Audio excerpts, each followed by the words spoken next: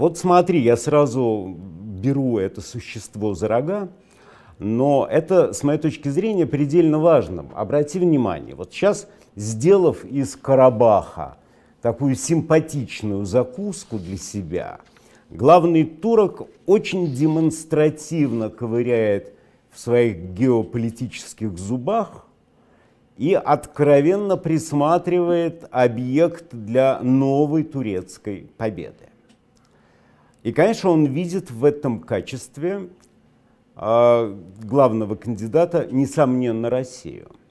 Потому что та бутафорская роль Азербайджана в Карабахской войне, секрет Полишинеля, он, это перестало быть секретом, скрывать теперь особо нечего. И Эрдогану, про которого справедливо все понимают, что он стоит за всем, очень понравилось звездеть в мире – а особым умом он, как все политики-то, в общем, не блещет. И он для себя выяснил, что даже маленькая военная победа гораздо вкуснее а, членства в НАТО и соблюдения правил.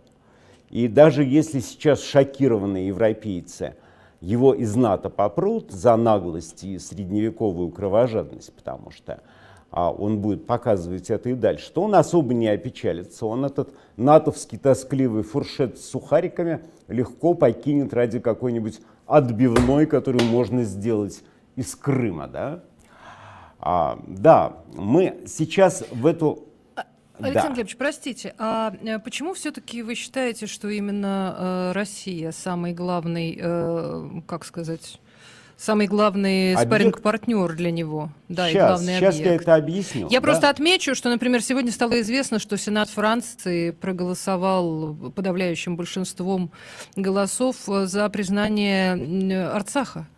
А, это, в общем, такое достаточно, я бы сказала, серьезное заявление. Это абсолютная дробина турецкому слону. И более того, его вообще не интересует Франция потому что ему негде с ней сражаться. И особо-то незачем.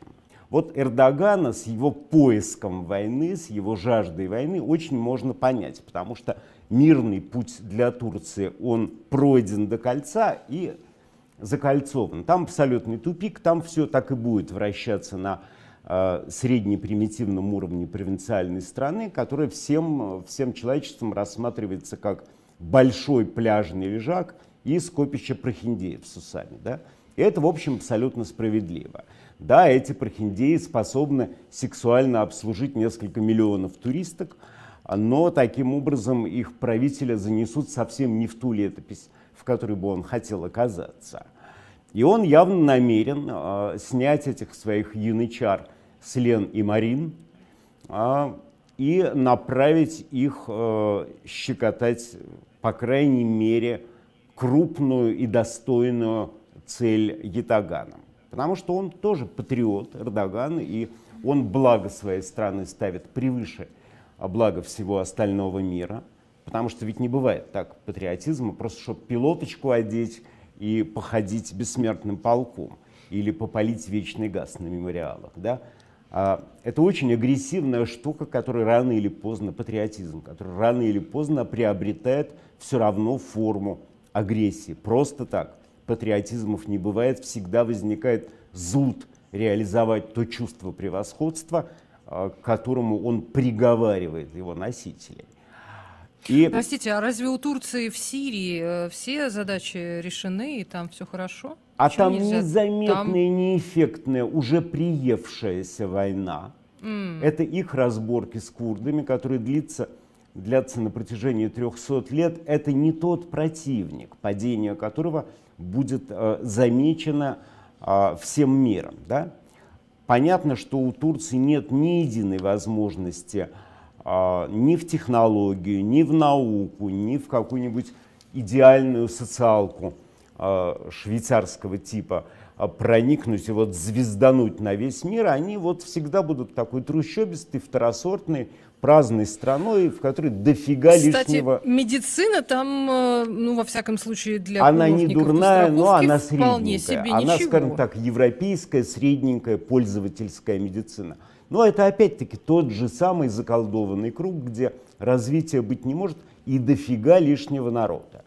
А Карабах только что показал, что жизни этих лишних вполне можно себе потратить на закупку очень дешевого нынче национального величия. То есть Эрдоган явно присматривает себе жертву, большую, эффектную и очень уязвимую. И лучше России на эту роль не подходит никто. Потому что Даже тот, Кипр? Кто... Конечно, это тоже мелочевка по сравнению с Турецкой империей, которая вот сейчас показала, что она бы хотела о себе заявить как о сверхдержаве. И если на Россию смотреть холодно, глазами не затуманенными а, патриотизмом, то она видится рахитом с огромными кулаками. И каждый кулак в три или в четыре раза больше, чем голова. Кулаки, да, растут, но и рахит прогрессирует. И еще сверху этот рахит прикрыт куполом на бикрень, что придает всему этому абсолютно комический вид. Причем э, рахит уже прогрессирует настолько, что даже этих огромных кулаков это маленькое существо поднять не сможет. А, потому что ведь всяким холодным наблюдателям понятно, что означает трагедия и космоса, и медицины, и надеяться на то, что какие-нибудь подлецы аналитики с Востока не замечают там на 90 дней закрылся э, школьный сортир, а его закрыл суд, потому что суд признал, это совсем недалеко от Москвы, от Питера, суд признал, что сортирная дырка стала аварийной, там вот выдержки, возможен подлом общего помоста под учащимися и разрушение очкового возвышения. А Матыгинский драмтеатр, вот прямо со сцены артисты обратились со слезами к зрителям материально помочь в организации санузла. Это вроде бы все пустяки, но вот знаешь, как специалист. Слушайте, по... ну Приморье без э, да, тепла и электричества сколько? Шесть дней? И да, да, да, да. Как а по делать. признанию министра здравоохранения, вот сейчас России для того, чтобы хотя бы начать бороться с ковидом, не хватает 2700 скорых. Это значит, что на самом деле не хватает 5000 как минимум. И вот специалист по маленькой язвочке, которую не заметит другой человек, он понимает, что это обозначает. Он понимает, что э, это симптомы уже разложения, это уже э, некроз. Плюс, конечно, вот эти эксперименты в Карабахе, они очень вдохновили турок. Потому что, вот, например, есть прекрасные Искандеры, гордость русского ВПК.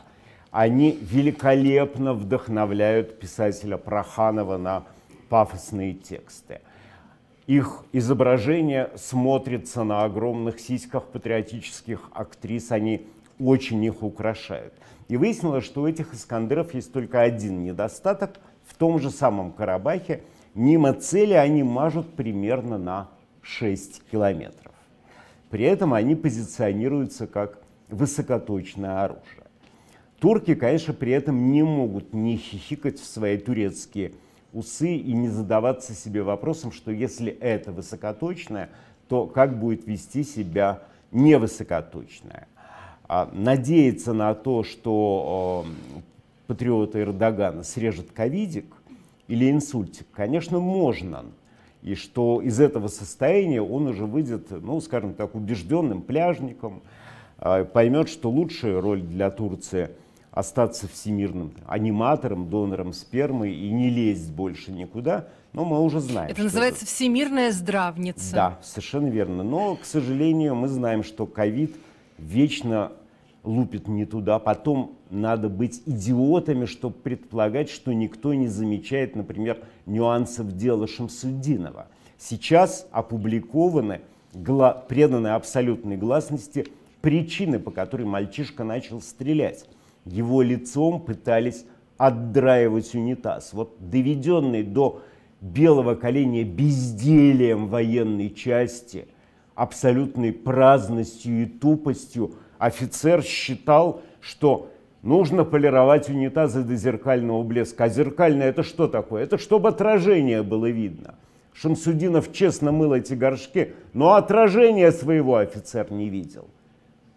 И тогда он объяснил, что он будет делать это его лицом. И тут же другие защитники Отечества а, поменьше званиями подтянулись и тоже приняли участие в этой же травле.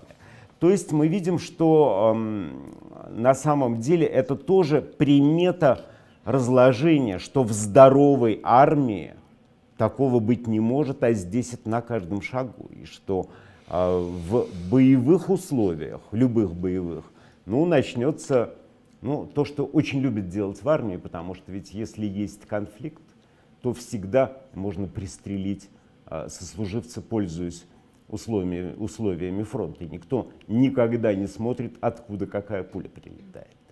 Действительно, если что-то будет происходить, то Россия рискует получить очень большой вагины от Турции, и это более чем реально, это будет непереживаемой болью. Вот это будет действительно трагедией режима, который свою основную ставку сделал на свою страшность, на самодовольность, на бахвальство – я думаю, что... Ну а что можно еще делать? На что делать ставку? На дипломатию? А, ну, дипломатию... С этим как-то у нас в последнее время не очень, мне кажется. У, у нас, э, да, у нас очень не очень.